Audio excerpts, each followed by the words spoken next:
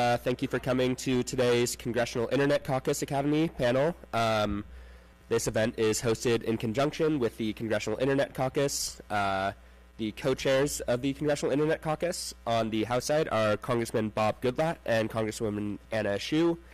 And on the Senate side are Senator John Thune and Senator Patrick Leahy. Uh, so we want to thank them for their support. Uh, we're excited for today's panel on uh, the California Consumer Privacy Act uh, and other privacy legislation uh, both abroad and in the United States. Uh, so I'm going to hand it over to our moderator today, uh, David McCabe from Axios. Thank you, Matt. I'm David McCabe. I'm a technology reporter for Axios and I cover sort of the collision of policy with technology. Um, and we're really excited to be here. Uh, just quick introductions. Um, starting going this way, we have Ariel Fox Johnson of uh, Common Sense Media. Then we have uh, Ryan Hagemann of the Niskanen Center. Um, uh, which I'm always worried about mispronouncing, but I think I got all of the N's. uh, um, then we have Michelle De Mooy of the Center for Democracy and Technology, and then Jordan Crenshaw with the U.S. Chamber's uh, Chamber Technology uh, Engagement Center. Uh, and I'm just going to quickly set the stage a little bit. We're talking about the new consumer privacy law that just passed in California. for those of you who don't know, this was a law uh, that came into effect or came came to be sort of as a result of a, potential ballot measure. There was there was a, a chance that uh, California voters would vote on a consumer privacy uh, measure in November, uh, and essentially the, the sponsors, the supporters of that ballot measure said we'll pull it from the ballot. Uh, or we won't we won't get it on the ballot uh, if you pass this this bill by the filing deadline for the ballot. And so that that came to pass earlier this year. It was a pretty quick process. Uh, at least uh, externally, it all seemed to come together very quickly. Uh, but the law doesn't go into effect for, for several years. It goes into effect in 2020, which means uh, it could be altered in, in upcoming legislative sessions, and I think many, in fact, think that it will. Obviously, the, the big picture here is that increasingly you have people around the world uh, and around the country articulating ideas about how consumer privacy should be regulated as, as these big platforms, these big web platforms come under pressure. So, of course, the biggest example of that is GDPR uh, in Europe, which just went into effect uh, and had been sort of uh, cooking for several years rather than uh, um, the much shorter period of time in California. So you have this increasingly sort of splintered environment uh, in terms of consumer data privacy. And, and what we're going to talk about today is uh, sort of what these different measures do and, and what they are, uh, what they might mean, who they apply to, and then we'll talk about what it means for Congress, and then we'll take questions. so I think starting out, um, Ariel, obviously, Common Sense Media was super involved in, in the crafting of this California bill. Uh, give us sort of the high level 101 what it does for consumers. What rights does it give consumers over their data? Sure. And, you know, Common Sense is one of the co sponsors of this legislation, and we're excited that it's a great first step, and it's the first sort of broadly applicable. Here, thank you. Yeah. First broadly applicable consumer privacy law.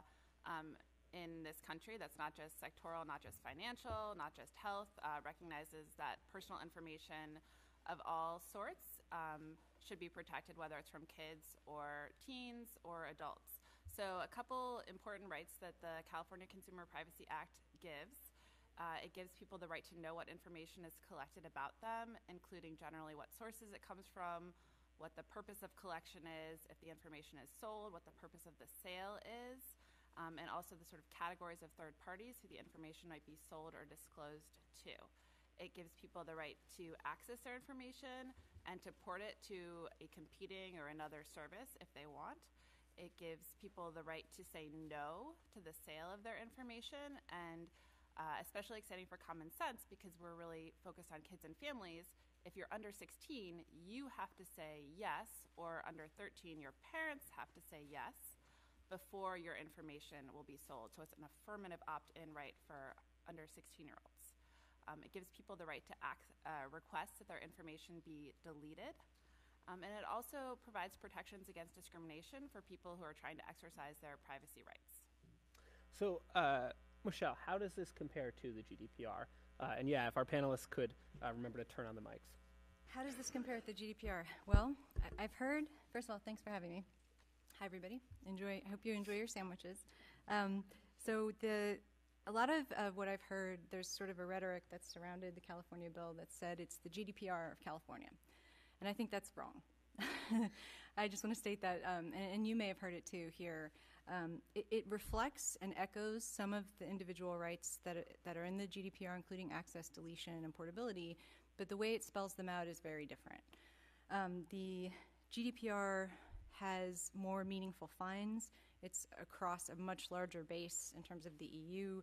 It also makes a distinction, distinction between data controllers and data processors, which is sort of a foundation that is, is not in the California law, but for reasons that I understand, it's, it's sort of California law already has the right to privacy um, enshrined, and there are provisions around that, so it wouldn't have made sense probably. But it also has um, provisions like um, doing an audit, doing a data risk assessment, things that are a little more granular and detailed. And um, I guess if you're a company, uh, more of a headache than, than what exists in the California law. There's some interesting parallels, though. I would say the California law, um, for example, the, the age thing, you know, 16. In GDPR, that actually varies by member state. So if you're a company, it's kind of that's another giant headache um, to try to comply with different member state varying provisions as they relate to the GDPR. So you can be sued also in different member states for different provisions. Whereas the California law is much more um, broadly applicable, um, clearly, unless you count California in three states, which I guess is off the ballot now. um, the other parts that are not like the GDPR, which I think is the opposite of what you asked, but is um, the definition of personal information is really broad. Um, I think the probably the authors were trying to capture the data ecosystem as it exists right now, which is incredibly difficult to capture in the idea of personal information. So it includes things like olfactory um, data, which is you know smell data, nose data. Um, it also talks about household data, which you know is really difficult to define. It sounds easy, but it's really not. If you think about what that actually means, as opposed to personal information and how those two things go together. Um, the access and deletion rights are weakened in the California bill. So the access rights are in the California bill talk about the you, you can get categories of information, um, and it's about sort of the entities that have some data on you. So if you're a consumer and you think about what you want to access to eventually port, probably, or, or at least give yourself that possibility, it's really tricky to know what you can do with categories of information versus sort of everything they have on you, which is also not technically feasible for a company to do, not, nor really what you probably want. So the bill is trying to strike a balance there. Um, the other part is the deletion is significantly weakened also. It's not a deletion right, it's a right to request deletion and hope the company does it. Um, and so, unfortunately, that you know provision while I think it's trying to give companies flexibility when it comes to deletion, th- this is an incredibly difficult technical thing to do. Um, our data is splintered into a thousand pieces um, when companies get it. It's monetized in different ways, it's stored in different ways, and it's also not clear necessarily what your data is versus your data and someone else's. Think about an email. If I send you an email, is that yours or mine? Right, so that's a really simplistic way of thinking about how, how really complex this can get.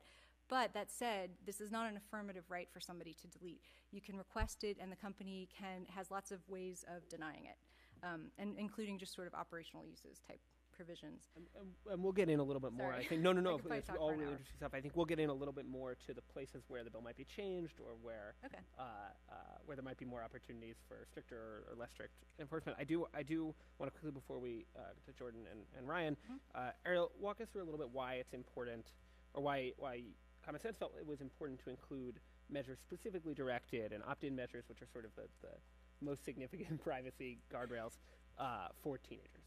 Yeah, well, I mean, common sense, and I think a lot of consumer advocates would love to see opt-in for everything and for everyone.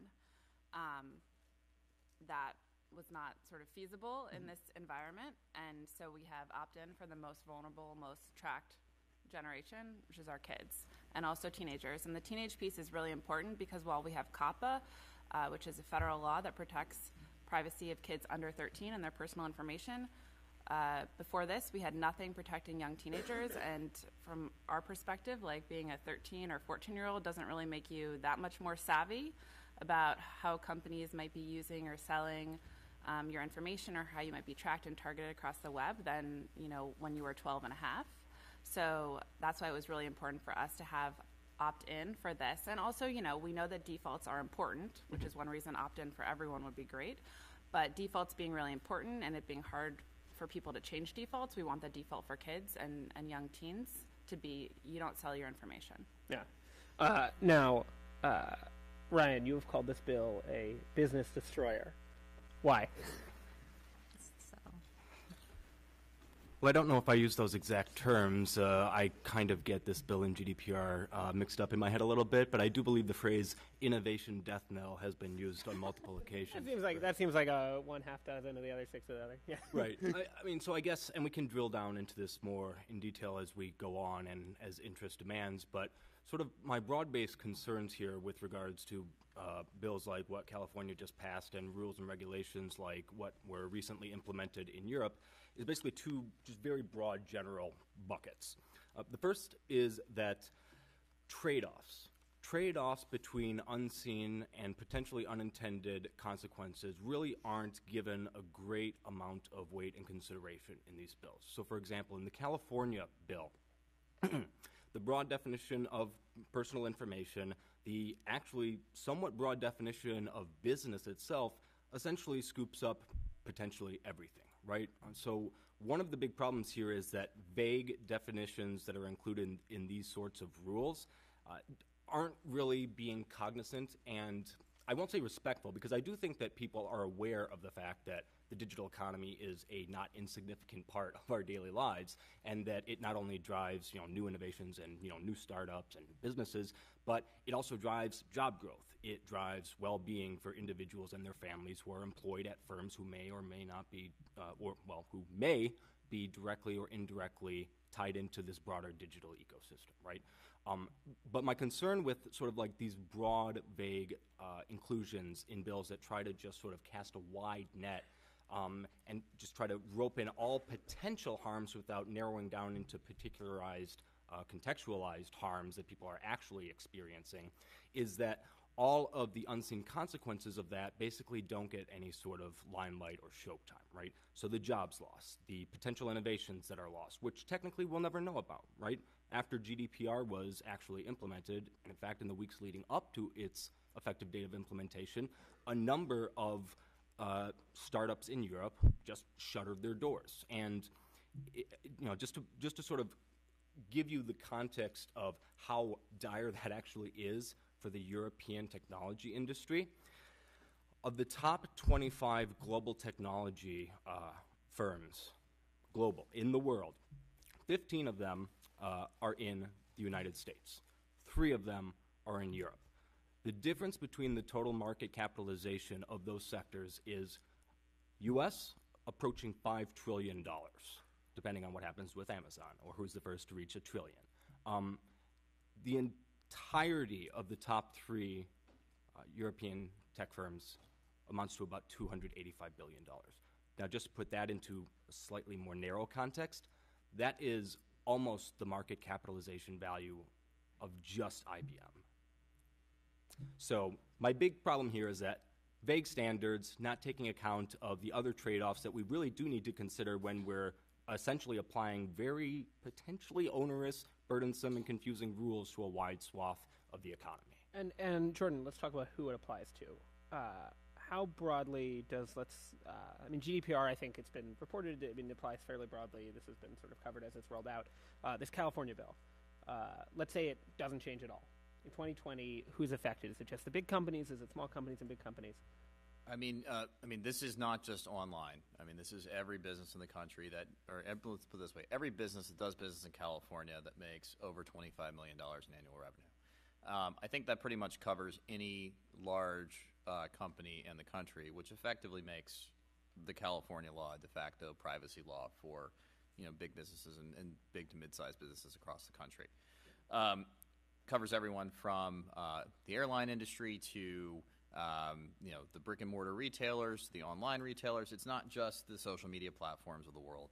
Um, and I think that's what's so concerning. I think to us about what happened in California was that when you are bringing such a wide swath of industry into a privacy bill with you know a bunch of terminology that has not been worked out um, through regular order and process, that's problematic when you're, you're essentially creating a privacy regulation for the rest of the country. Um, you know, I, I wish that you know we could see bills move in four days on the floor uh, here in D.C., but that just doesn't happen. Um, but you know, I think it, it, it's it's telling um, from the Senate Judiciary Committee hearing when this was passed that the chairwoman of the committee basically said that she had grave concerns about the legislation and the process, and having this ballot initiative essentially put a gun to the head of the California Assembly to get something done within four days uh, before the deadline passed to remove uh, the initiative from the ballot. Um, look, I mean, I think that you know there is a need for smart and good regulation, but I mean, I think what we've seen from uh, what we saw in California was that we need to get things right and we need to do things from a good process perspective. It probably does, though, have to apply right across. I mean, it can't just be social media, right? Like everybody uses data. I have an app for like the city bike share in New York because I used it once. Now they have some of my data, right? I mean, it's not. It's it's it's pretty much every company, other than there were some carve outs. Um, you know, there was a GLBA, Gramm Leach Bliley for the financial institutions. Um, there was a carve out for HIPAA as well too for the for the health industry folks as well. Uh, but for the most part, this is you know I think everyone has focused this debate on the online world, and this actually now brings in everyone from the brick and mortars to to the online social media platforms. Which I mean, we think at Common Sense it's a good thing that it's including all of these um, companies and not making a distinction at least between like brick and mortar and online because all of these companies are collecting your data, selling your data. Um, and you might not wa- you might want to be able to tell an airline to stop selling your data, or you might want to tell Macy's to stop selling your data. So And the, this um, Massachusetts State AG just testified that most of the data breaches that they deal with are from small businesses, right? So it's it, there's no we don't want to incentivize small businesses, which you know all of the big techs started that way, right? At least according to the, the mythology, um, as small startups. So we don't want to uh, sort of incentivize bad practices for small and mid-sized businesses also. I want to quickly, actually, though, talk about the big companies because I, uh, so I've read, I've read the sort of key portions of the bill when it when it went through. Um, are Facebook and Google already in compliance with this, or are there things that the bill would have them do for users that Facebook and Google don't already do? Who wants to answer? It's sort of a jump I. I, yeah. I, I'll, I'll, I'll take a stab at that. I think every company and the nation is still reviewing what this law means to them, and I don't think we quite know yet what uh, implications this has for everyone. So I, I don't. I think it's premature to answer that question at this point right now. I'll answer it. Um, sorry. Um, I think uh, the answer is no, they're not in compliance. Um, I think that's part of why they hate it so much. It is, like I said, it's not, in fact, a GDPR for the U.S., um, where maybe they would have been more closely in compliance. But there are provisions, for example, uh, putting some kind of link on your homepage for Californians that says, please do not sell my data. Now, does anybody in here not like that idea? So it reflects, you know, this public dissatisfaction with these, with the, the way that our data is unexpectedly used and shared. Um, but you know, the companies like Google and Facebook and others have a legitimate concern about, you know, that property is hugely valuable. For example, think about the Google homepage, the search page. They're, they're, you know, putting a button up there for California consumers is a pretty big deal, and I think for them also sort of makes an implication that they do things with data that they don't feel like they do. Um, so there's still a lot of time for some of these things to be worked out, and, and no doubt um, they will explain more clearly to us how they are not in compliance um, currently. and I, I will say, I think Facebook. I mean, I know Facebook said that they supported the bill. That it wasn't perfect, but that they supported the bill. I, I don't think Google made a similar statement. But just for for context, uh, and of course, trade groups that represent Facebook and Google were were much more aggressively uh, uh, questioning and skeptical of the bill. Um, uh, Well, remember the reason, though, right? That they were facing the ballot initiative. Right. So the that um, sort of was a gun to the head of a lot of companies who really, really disliked that, and mostly because it had a private right of action, right? So you could sue them, and they're already being sued left, right, and center. So that was a really big liability that they didn't want to take on. And so there, there's sort of a they didn't. I don't. I don't know that they full-throatedly support the California bill, but they uh, supported it in relation to the initiative. I, I'll- I'll add one other difference too as to why I think a lot of industries viewed the bill as preferable to the, the ballot initiative was that The initiative itself basically said that the California Assembly had to develop a supermajority of 70% to amend what was in the ballot initiative. So, I mean, I, you know, I'm an attorney, but I hate to admit this. Whenever I get ballot initiatives that I, I look at, or the you know amendments at the in Virginia when I'm voting, I say, yeah, that sounds like a good idea most of the time. I just go, yes. So, I mean, you know, I think at least from a perspective of passing this law, it did enable the California Assembly to kind of have more of a robust debate about this issue and give it some more flexibility to amend things that actually might be friendlier and provide more certainty to both consumers and to uh, the business community. And just briefly on the private right of action, right? Because my understanding is it shifted a little bit as the bill got closer to the finish line. Uh, Ariel, can you just quickly walk everyone through how the private right of action works now? Sure, I can do my best. So, um, under the initiative, you had a private right of action for anything, for any violation of the initiative. Under the current law, you have a private right of action for security breaches, defined, I think, as like unauthorized access, exfiltration, um, theft, disclosure. And it's security breaches of specific pieces of personal information, so more narrowly defined than personal information is otherwise defined in the bill. Um, common sense would prefer that it was more broadly defined, but that's that's where you are. And uh, under this private right of action, you um, can get 100 to 750 dollars per violation, and you also have to uh, tell the attorney general you're bringing suit. And if the attorney general wants to bring the suit instead, and they're the ones who enforce the rest of the law, then they can do so. So it is a significantly more limited private right of action than was in the initiative. Um, on the flip side, you have more expanded consumer rights in the bill, like this new right of access to specific pieces of information, the right to port your information, um, and rights to request deletion. Um, you know, I've heard some complaints about the private right of action. You know, even though $100 doesn't sound like a lot of money, it could be a lot quickly when you multiply things. Um, I just saw that last month, I think Equifax settled with the state attorney generals over its data breach. And do you know how much money it had to pay? It paid nothing because it promised to do better. So I'm okay with the private right of action as it stands in the California law. Um, and before we before we uh, move on, I just want to kind of bottom line it for people. Uh, obviously, this is this is very possibly going to be amended in the next couple legislative sessions. Uh, I know everyone has multiple things they might tweak or change, uh, uh, but I'm going to ask you to make some hard choices. You have a magic wand; you can change one thing before 2020. Uh, what is it? And we can just go down the line. To be perfectly honest, I would say that we need uniformity, and I wouldn't say it's necessarily with the California bill. I would say that we need to see, um, you know, increased efforts here on the Hill to uh, create a uniform system uh, for privacy and you know, I think that there's got to be one thing though in the California bill. If it wasn't a federal bill, and we'll talk about a federal oh, bill. Sure. But.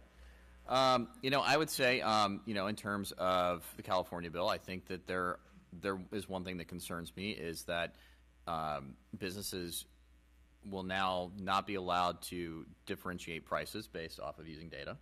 Um, I think that is concerning because of things like frequent flyer mile programs, uh, you know, loyalty programs like your CVS card or anything like that you know, uh, you know, so if you opt out of having your data being uh, disclosed through sale or you know through the large broad definition of sale and the and the bill, um, you know, not being able to differentiate pricing, I think that's problematic because I mean, a I think the online ecosystem basically works through data, um, and then also. Um, you know, you're looking at loyalty programs, you're looking at frequent flyer programs. Um, I think that's concerning, and I think even though there is a provision that says you can provide a financial incentive to consumers, I still think we're going to get tangled up in court over what the, the meaning of value is. Um, and, and, I think that that provides uncertainty at this point right now. Mm-hmm. Um, so I think that's something that I wouldn't necessarily say we need to scrap everything there, but I think at the same time we need to take a better look at, at, at that section right there. Mm-hmm. And I promise I'll give you the case. Sure. I'll give you the chance sure. to make a case for a federal bill. Sure. Michelle. Hmm in some ways, I wouldn't change anything because it's really brought um, the discussion of federal privacy legislation uh, to the forefront. But if given the chance, I think we would want to see some practices addressed that weren't in the bill. So things like deceptive interface design. So um, a good example would be uh, um, the Facebook Cambridge Analytica quiz that you you know may have taken. It was a personality quiz, but really it was about collecting lots of other data. Or the times when you see a tiny, tiny link that says "No thanks," but you can barely see it. Um, those types of interface design um, can create a lot of, of deception. We think also cross-device tracking isn't addressed, and that's when your TV and your phone are speaking, and I think that's very unexpected for most people. Um, device fingerprinting, um, looking at the idea. Sorry, what's device fingerprinting for? Oh, okay. So device fingerprinting, is just basically a way to identify your device, and so that could be your laptop or your phone or whatever, across multiple platforms and products and services. It's a technical identifier, basically, but it's a practice that follows you wherever you go. Um, so you can not even be using something, you can have shut down your phone, but it's still sort of like these footprints, footprints in the sand that allow them to collect and use lots and lots of data about you, whether or not you're engaged with the product or service or not. So very unexpected stuff. Um, and this isn't something that's widespread necessarily, but it does go on. It's a, it's a part of the monetization of these of platforms, products, and services. And some of these practices you mentioned, it seems like are practices that may be emerging. No, no, no, no. These aren't emerging. Mm-hmm. No, these are these are here. um, you know, cross-device tracking has been around for a couple of years now. Um, again, it's it's really unexpected, right? And so I think maybe some of what you're you're expressing is some of the surprise that a lot of people express. Um, but you know, the difference is that more and more people are starting to get more devices in their homes that have the ability to communicate with other devices. So if you've ever had the experience where you turn on something and Netflix is um, or some other service, Comcast or whatever, is is showing you the kind of content it thinks you want to see, and it's eerily similar to something that you played on your phone or something that you did. This is why that's occurring, right? So they're talking to each other. So I think some of those practices we would like to see addressed. Ryan, magic wand. Uh, well, I'd probably turn in the magic wand for a flamethrower and just kill the whole thing Not with an- fire. that's not an option. Elon, Mu- Elon Musk has no sway here. um, no, I, I would actually narrow in on the exact provision that um, uh, that uh, Jordan narrowed in on, uh, which is uh, 1798 125. So this is basically prohibiting any business um, offering these offering services to uh, consumers uh, from denying consumers who choose to opt out of their data being collected. Can you not hear? Sorry. Usually, I'm pretty good at yelling at the mic from away. So, um, so yeah, this is this is basically. I don't want to call it a non-discrimination clause. It's it's a non-price uh, and quality on product differentiation uh, clause.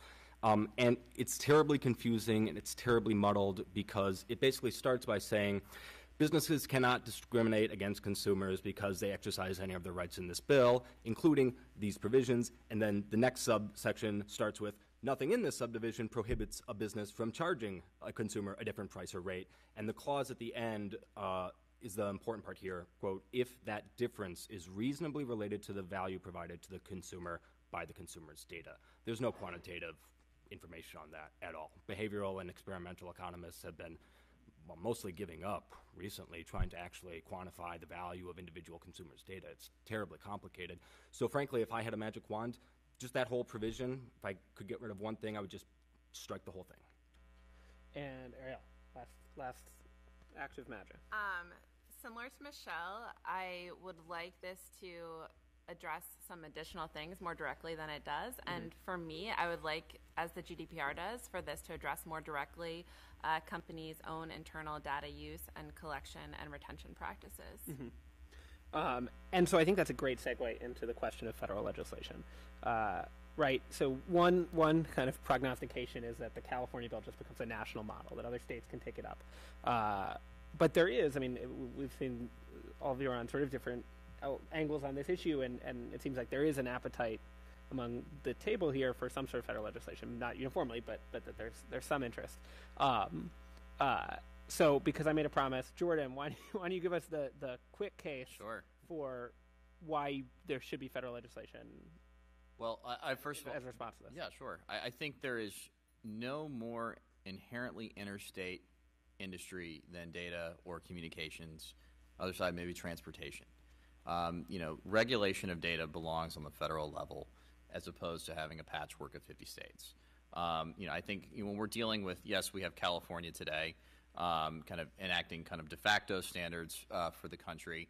uh, you know, I, I think that is now hindered uh, in a new era or brought in a new era where the era of self-regulation is over to an extent, and I think we now have to look at a solution on a federal level. I think if California has already started regulating, I think in the near term we'll start seeing states like Massachusetts, Illinois get involved here. And I think that from a consumer perspective and a company perspective, having a clear set of rules for the road is important to ensuring that customers know who to go to if if there is you know a, a, a violation of their privacy rights, and also you know companies know which agencies to actually go to to actually get their uh, information on how to comply, and, and they know who they can deal with, and they can collaborate with with the agencies like the FTC to figure out ways to uh, you know you know encourage further compliance and and also uh, create certainty for the market. And I think in the end, when consumers have confidence and, and clarity and uh, certainty, I think it, it, it really helps everyone in the long run.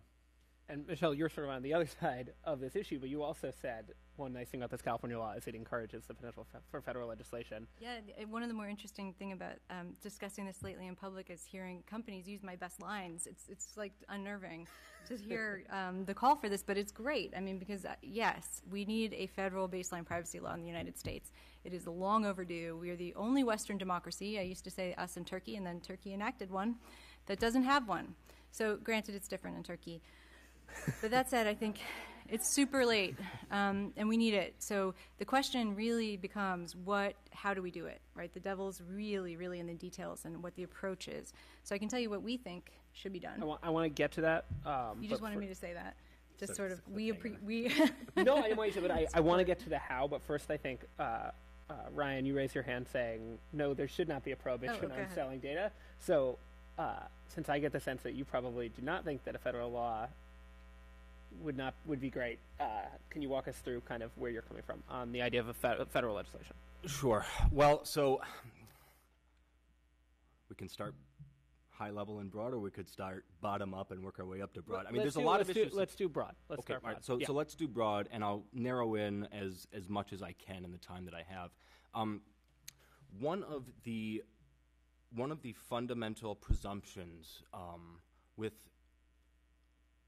these calls for federal baseline privacy reg- regulation is that there is a problem to be solved. And I have yet to actually see what exactly the problem is. Now, I, I understand privacy comes up, people express concerns about it, but people tend to express real concerns about privacy matters that are important to them in very specific contexts. In contexts where specific types of very sensitive information could get out there that they don't want to get out there. And quite frankly, the United States I think has the best privacy regulation uh, laws in the world because we are focused on sector by sector by sector. Different types of information used by different sectors in different ways implicate different harms for different people at different times in different contexts. Baseline federal privacy regulation, and this is, I want to go back to my original point here because I really want to emphasize this. Baseline federal privacy regulation doesn't necessarily get you greater privacy protections. It gets you a technological backwater like they have in Europe. It gets you fewer jobs, fewer innovation, less R&D. Uh, what it's not at all clear to me is whether or not you get greater privacy. Because rules like this, complex, convoluted, vague, who has the time, the manpower, and the resources to actually invest in compliance? And it is only compliance. It's not actually protecting consumer privacy. It's complying with the law as written, which is written vaguely. So compliance can mean different things to different people. So what you end up have, having is the big tech companies that a lot of people are worried about because they're collecting all of this data, you essentially give them entrenched monopoly positions forever because no innovative startups, no new entrants into the market can possibly comply with all the vague statutory requirements of these types of rules. So that would be the broad strokes for me. So, uh, uh, before we get to, so I think right, we're now sort of understanding there's sort of different levels of, of there's a spectrum here, right? You have the idea that maybe any sort of new legislation would impede innovation, uh, and then and then on the other end, we've seen sort of the the idea that no, this is really needed, and and it's sort of an area where the U.S. has lagged Can I behind. address one thing that he Yeah, talked about, which was the, that harms only occur in context, and that somehow makes them less? I don't think that's true at all. I think I, I could sit here and list um, just the names of companies, and you probably know what I'm talking about. Venmo, right? Um, Equifax, Ashley Madison, um, Grindr. I could go on, and, and, and we will, and I'll, we'll send this to the Hill. But there are a lot of harms that are also societal harms, collective harms, things like anti-discrimination and ad targeting, right? These things are not, you know, off in the future. They're occurring now, and a lot of platforms don't want this to occur on their platforms either. Um, so the idea that there's somehow no harm just because privacy is contextual, which is true, makes it tricky. Doesn't make it impossible or unworthy. We don't have a democracy unless we have privacy. There is no way that it functions without private space. And if you think about sort of broadly too, you know, some I think Ariel mentioned our the new generation coming up. We have to establish the value of privacy and set the expectation that this is something that is important to our society, right? So one of the ways you do that is you have a baseline. And when you don't have that, you have breaches. You have people's, you know, information getting leaked. There's all kinds of examples. Target, I'm sure you all know the Target pregnancy one. Um, so these aren't just because they happen to different people in different contexts doesn't make them any less harmful. And and uh, Can I just real quick? Because I, to- I totally agree. real quick, quick, real, real quick. quick. No, I, I, I totally agree. I, I, I absolutely agree with that. Um, my broad point here, and I think what I want people to walk away with, is the recognition that privacy is but one value that we all value. Right? There are other issues at play as well. There's economic growth. There is innovation. These things matter for well-being and for you know, earnings for people, right? There are jobs, opportunities. There's, there are many other things that we have to balance privacy with. And the question I think we really need to narrow in on is whether or not broad baseline privacy regulation is the way to go, or if what we have right now has been working pretty well for most people. And I, I am in the for, I am in the latter camp, but I, I totally agree. Yes, yeah. Just because yeah, privacy does matter in very in specific contexts for specific people. Yes. and and I said we'd get to how, so I want to get to how. Uh, I think one thing that I, I hope the audience takes away is that there are this is a really complicated issue. There's a lot of inputs into it and a lot of sort of like uh, uh, potential applications. I mean, all these companies you mentioned, uh, uh, I think were instantly recognizable to people, but the circumstances of all of those uh, privacy violations were varied. So so how uh, to, to the point I, I cut you off on before, how how do you go about writing federal privacy legislation? What does it look like, and how do you make it facile or not facile? How do you make it sort of malleable enough to fit all of these cases? Sure. So I can tell you our process. Um, it was to, you know, we, we've advocated, CDT has advocated for baseline privacy legislation for a very long time, but in, in the sort of push in the last couple months, we first started with what is a reasonable expectation of privacy for any individual? What should you be allowed to expect in a transaction or in a kind of environment in the digital world? Um, and we came up with a couple values like agency and transparency and accountability as being core to whatever the bill, whatever the legislation looked like. From there, we convened different stakeholders to try to build a consensus. It's been incredibly difficult, but it's it's important to do that, right? Something that people can live with and agree with. Everybody's unhappy, then you know you've succeeded. So we're talking about industry, academics, um, and advocates, and then you know trade associations, UX designers, all kinds of sort of people who are stakeholders in this process, and the public. So the idea is you know, how do we come to some kind of consensus? And the, the refrain that we heard from companies over and over again was that we want certainty and flexibility. And the problem with that is there's no legislation that does that, right? There's no legislation that gives you that flexibility unless you do you take the approach of giving the FTC rulemaking authority on data privacy and data protection. So that's the approach that we've taken, and I think it provides. It's not perfect. It's it's certainly not perfect, but if what we did was say the, the FTC is a, an agency that has a lot of expertise in this area. They don't have the authority right now to do anything except ex post, which means after something's already happened. So we provide them with sort of clear limitations. I don't think any baseline privacy bill worth its salt does not have clear limitations on some kinds of uses, unexpected sharing with third parties the sharing of location, things that I mentioned before, biometric tracking, location tracking, things that you don't reasonably expect to be occurring. I don't think that a bill should duplicate the GDPR. I think it should draw from it some of the key elements that we think are good, like access, deletion, and portability. And I think it's really important to also kind of inject some conversation about discrimination.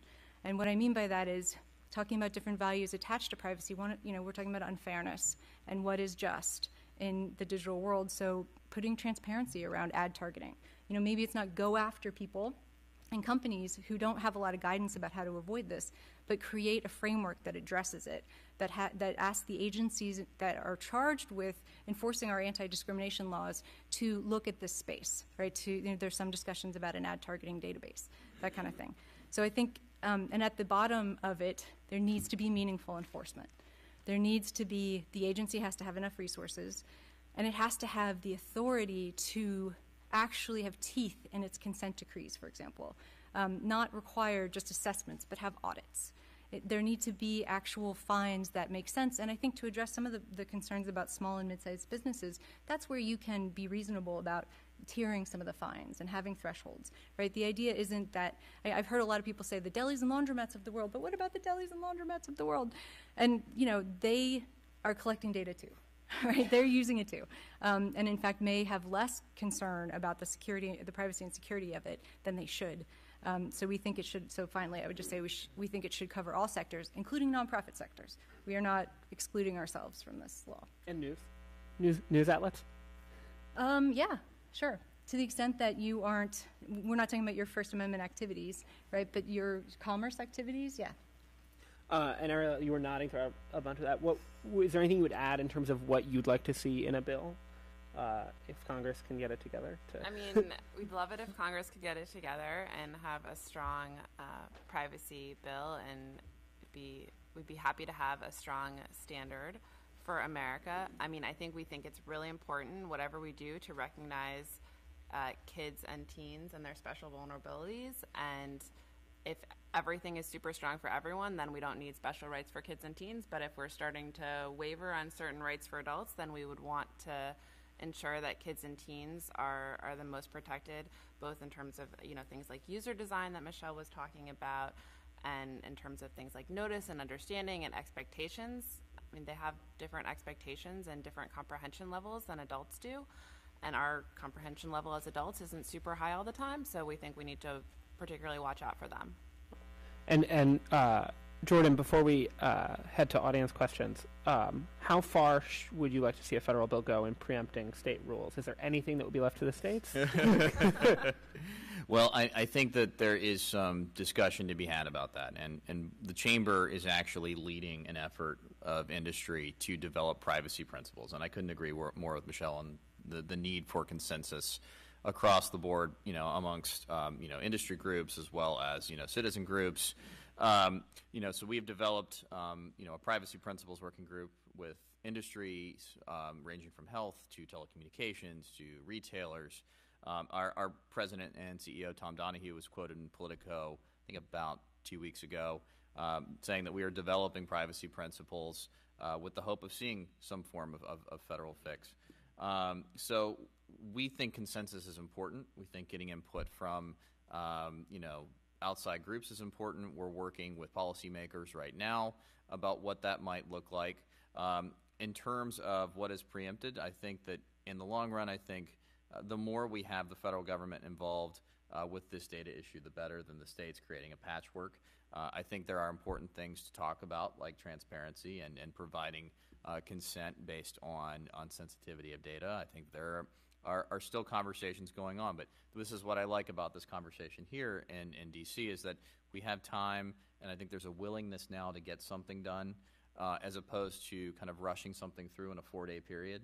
And I think we can have a good, robust conversation about what privacy looks like. And I think you know we've got a year before implementation of the California bill um, in January 1st, 2020. So I think you know this is a, a kind of the right time for us to be talking about this issue and really making sure we get privacy right on a federal level. So, uh, been on this beat for a long time. People generally publicly like to be very optimistic, but just to be realists here for a second,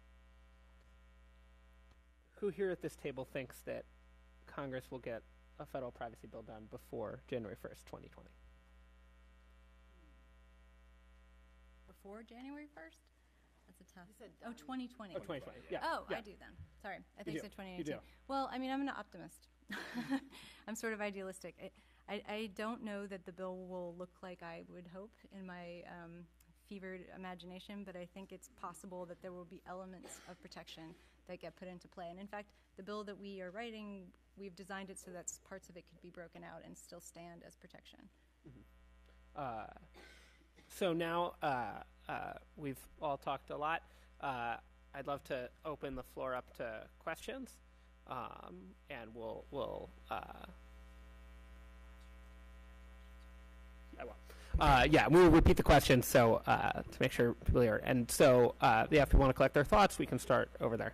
And and I would just say, uh, uh, I've covered a lot of these panels. The more the questions can be questions rather than comments, the better for everybody involved.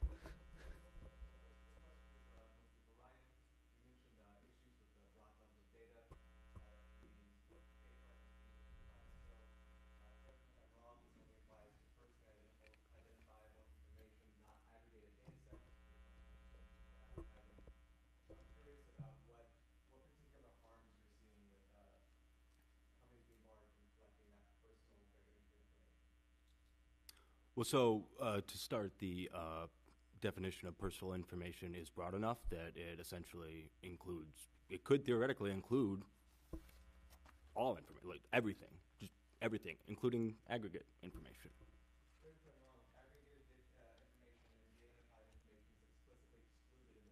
Yeah, the that's correct. de-identified information is, yes. Well, the, the definition of aggregated is, I, I actually have to go back to my notes there because I remember making a comment about that somewhere. This is a ten thousand word bill, so I had a lot of notes, sorry. You might, be- you, you might, you, you might be right. Well, And- and the questions I understood of how do you deal with that when that's what a lot of companies use?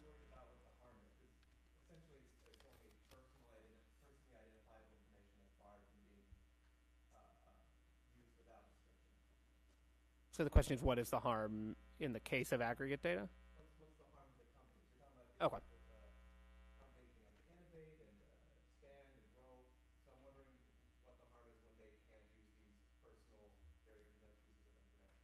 Well, so so there's lots of examples. There's I, I don't have a lot of examples just off the top of my head, but you know, data is fed into all sorts of other you know product offerings that companies develop, right? So uh, you know, Google uh, makes most of their money on uh, you know advertising revenue. Um, that money gets shifted around to go into you know new moonshot projects that you know could potentially see autonomous vehicles on the streets. That goes into Google Loon to provide uh, you know uh, uh, uh, internet access to underserved rural communities. So my, my, my point on the personal information definition and also the business definition um, is that when you start to broaden those definitions in such a way that you scoop up more and more and more things without actually narrowing in on a very particular problem that you're trying to solve with regulation, the floodgates are open for all sorts of who knows what to happen, unintended consequences.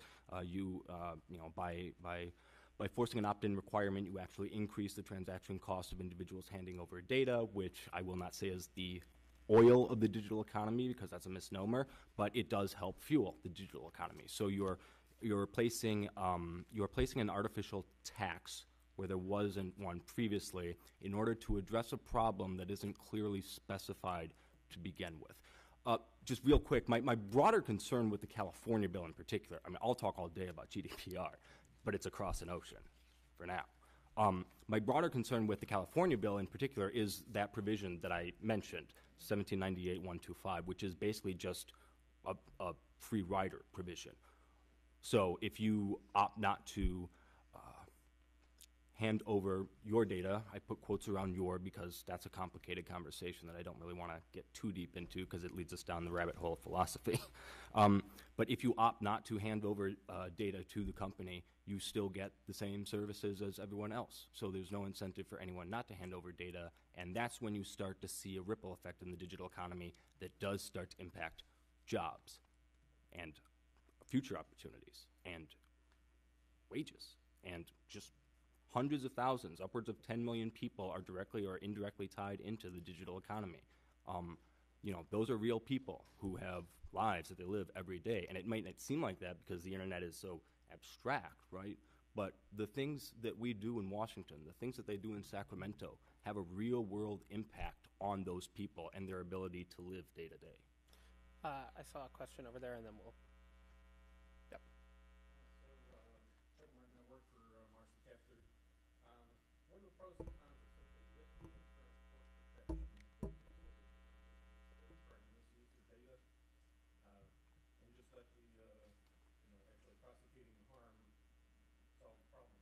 And the question was, uh, I'm just repeating the question for people in the back. Uh, what are the pros and cons of lifting just the prohibition on tort litigation against the companies for misusing third-party data? Anyone want to? So is that basically the why not let the common law deal with it? Yeah, I'll, I'll, de- I'll defer. Jordan, you did. Oh, Michelle, you want to jump on the grenade? Sure. I- I think that there are, there are merits to that idea, um, including the extreme um, speed with which companies would completely change their approach to all of this and um, likely put privacy as the number one priority um, in security. I, I do think, though, you know, I think that the way that regulation has occurred now represents a market failure. Um, to open up litigation, while it would give individuals the right to, to bring suit, and I think that that's not necessarily a bad thing, it also creates a situation where companies are spending most of their time fighting lawsuits, spending a lot of money to defend themselves, and it's not clear what those remedies really are, right? It's um, it's one of the one of the issues actually in the California bill. I think is the private the limited private right of action includes a right to cure with companies. So the companies say there's a data breach, you can go to them and they have a certain amount of time, like 30 days or something, to cure. And, but how how do you do that? Right? How do you cure that violation? Um, and similarly, what is the remedy beyond money um, for that? So I like the idea of the incentive, the sort of push there. Um, but I think the reality may not actually end up protecting people. And those types of suits leave a lot of holes, right? It's, it's really just dependent on who, can, who decides they can represent an issue at a certain time, at a certain place, um, who has the money to bring suit. So I'm not sure that it would cover all of the issues that we care about, including discrimination issues. And are the courts prepared? Would the courts even be prepared to hear suits on some of these issues? I mean, they're pretty technically complex, and sometimes courts have struggled to wrap their head around some of the stuff. I think that's a fair point. Yeah, I th- it really, I think it, I wouldn't generalize all of the courts like that. There are judges who have really tried to learn a lot about technology. But yeah, I mean, there are plenty of advocates who don't understand a lot of technologies. Um, so I think that's a fair point that it would, it, and you could end up with some really crazy decisions that, like I said, wouldn't necessarily move things forward. That's why baseline is so appealing. Um, it's sort of everybody has the same rules, everybody has to abide by the same rules. You're not opening the companies up to a huge amount of liability, but accountability different. Susan Allen from the Commerce Department, USPTO Office of International Affairs, so covering IP issues. So I work on GDPR and uh, from California, California Bar Attorney. So um, there is a provision in the California law that allows for regulations to be developed in the next year um, to establish necessary to comply with state or federal law. Um, including the non-limited to those who are being faced with different IP um, within a year. So one question I have, and I'll have a quick comment too, but the question is, how much, if at all, do you see the bill shifting as a result of those regulations and provisions? Um, and then my one comment I have, and it's just personal, I don't represent any PTO, but there's a difference between like the ingredient list, notifying consumers going and then actually downloading the secret sauce. I think that's if you're talking about but, you that with respect to trade secrets and the provision, where there's a little bit more of a balance in the principles and the um, So if you could give any thoughts about the of the. And just to repeat the question for people in the back and flag if I get it wrong, uh, uh, the question is part of the bill sort of triggers the potential creation of regulations, some around IP. How would those affect the bill as it moves towards enactment? And Ariel, do you want to maybe? Yeah, sure. So I don't think that the regulations are going to, you know, change the law, but I think they are going to help implement it and clarify things. And as as noted here and many times elsewhere, uh, this occurred pretty quickly. Um, so it will be helpful to have the thoughtful regulatory rulemaking process at the with the attorney general. And I think some of the things you're you're raising are things that you know when we spoke with industry, they were concerned about. You know, consumers have a right to request information. What does that mean? What if it's a trade secret? What if it's protected intellectual property? And so having those exceptions being made clear and having the attorney general have authority to, to do stuff and to make sure that things that are protected or need to be protected stay protected is something in the bill. And I think this also speaks to the earlier point made about how if you have a baseline federal law, it'd be really helpful to have the FTC go through a rulemaking and help put out specific guidance, and that allows them to both keep the um, rules up to date as technology is changing faster than, than Congress could, and we're hopeful that the same thing will happen here in California. Uh, so we have time, I think, for one more question, uh, as long as it's quick. Uh, and I see a hand in the back.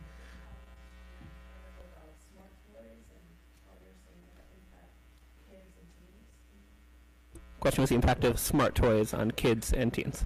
Sure. Um, well, so I guess one thing I note about smart toys is they have been the subject of various data breaches and hacks over the last couple of years. And one um, reason that I said I wished that this security breach language protected more personal information than it does is because a lot of the information um, that's hacked in this stuff, like personal conversations a parent might have with their kid or messages back and forth, um, is not protected under the sort of current data breach structure. Uh, Common Sense is supporting another bill, an Internet of Things reasonable security bill in California. Um, but that just goes to show, I think Smart Toys goes to show how there's a lot of really sensitive information being collected about people from bedrooms and from kitchens that might not be being accurately protected in the law right now. And uh, I think uh, we're pretty much at time, so I think we're going to call it there. But before we go, uh, if you want to go down the line and you want to tell the crowd, plug your Twitter handle, so the website of your organization, where people can find out more about where your group stands or you stand on some of these issues, and they can kind of track the conversation as it continues. So we can start at the end or. Yeah, um, I, I would say um, uh, CTEC's website, um, at the U.S. Chamber of Commerce is a good place to look as well. Um, also, um, Tech Innovation is the Twitter handle uh, that we have for CTEC at the Chamber. And, you know, I'm, I'll be here too if you want to reach out to me um, and chat about privacy. Uh, feel free to let me know. Uh, you can check out our work at cdt.org. Um, we are on the Hill frequently now these days too, so happy to, to meet with people and answer questions about the legislation we're drafting. Um, the Privacy and Data Project has a specific tab on our homepage that you can look at, and our Twitter handle is send CenDemTech. And if you don't get that right, you end up with like a Chinese um, newspaper. So make sure it's CenDemTech. Uh, you can find all of the work that I do personally at the Niskanen Center website, niskanencenter.org. Um, but I'm also just going to throw out a plug for my good friends over at the Information Technology and Innovation Foundation because they do spectacular work on all of these issues. So I, I really urge you to check them out as well. You can find all of Common Sense Media's resources at commonsense.org, and our policy arm is Common Sense Kids Action, which you can get to from there, or the Twitter handle is at CS Kids Action. And you can sign up for all the Axios newsletters by giving us just one piece of personal information, your email at signup.axios.com. Let's have a round of applause for our panel.